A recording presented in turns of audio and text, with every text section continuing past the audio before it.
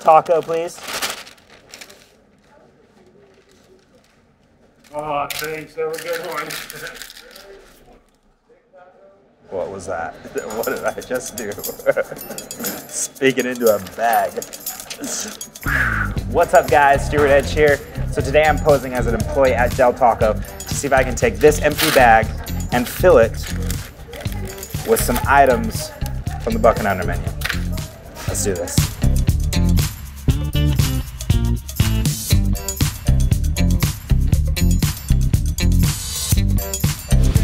Ladies and gentlemen, my name is Stuart Edge, and I'm about to amaze you. How's it going? Good. It's my first day, so I'm new. Take it easy. Don't get too excited. Yeah. Do you usually get the Buck and Under menu, or what do you usually get? Oh, wha- whatever you want. Did you see the new bags? Uh, It's pretty unbelievable. They've got this new thing with the Buck and Under menu. Since everything's a buck or less, they created this new bag that uh, can open up like this. And since everything's so inexpensive, you can just like take your bills, give it a little shake like this, and then it will literally like turn it into the. You drink? It like turns the turns it turns the pocket change. Get it hooked. This. So now you can just like literally take a bag home, drop money in it. Come check this out. Drinks like that. Mine doesn't have a hole in it. No, it doesn't have a hole. It just you sh- No, that's good. Like that. Give it a little shake. Pull these out. I like them, but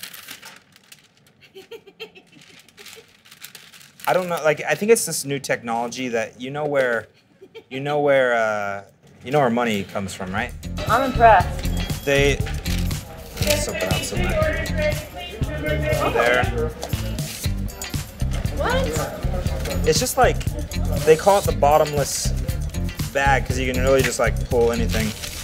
Sometimes you have to give it another little shake and then it pulls out. Nice. If you give it a big shake, it'll keep coming out.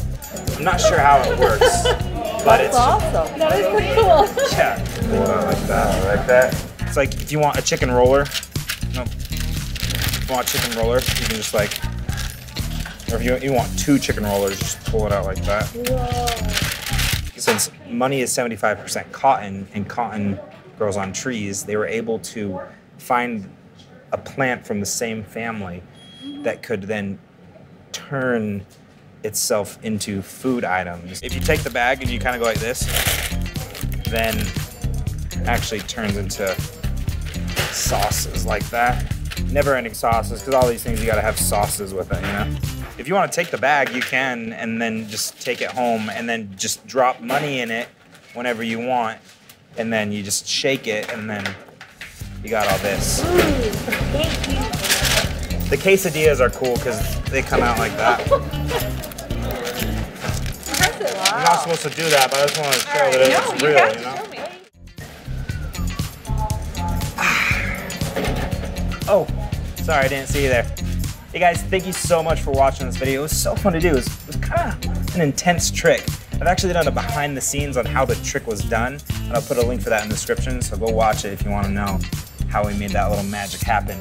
Also, thanks to Del Taco for letting me use their restaurant. They were so fun to work with.